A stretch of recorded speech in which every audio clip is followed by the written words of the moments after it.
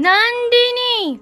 மிகாய் தெரிப்பால் இன்று பிப்பிலே ஒன்பது மணிக்கு உங்கள் சன் டிவியில்